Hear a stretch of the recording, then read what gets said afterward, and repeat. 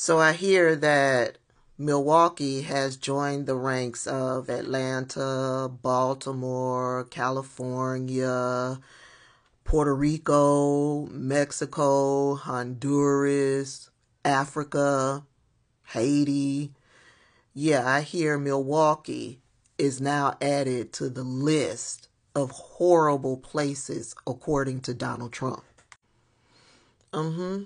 According to Donald Trump, Milwaukee is horrible.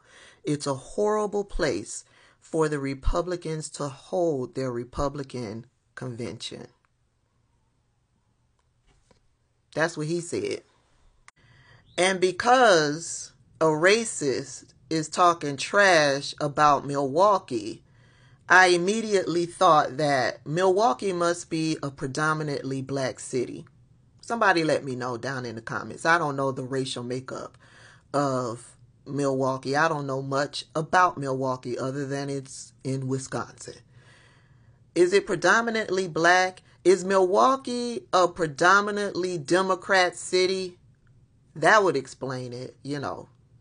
Anything that's attached to Democrats or black, blackness, yeah, Donald Trump is going to attack it. Oh, could the leadership be predominantly black and brown in Milwaukee? Somebody let me know.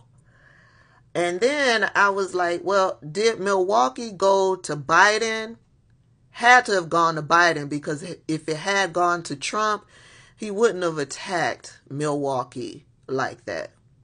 Just some questions that came across my mind as to why Donald Trump would attack Milwaukee yeah, a racist will choose racist reasons to not like a place or person.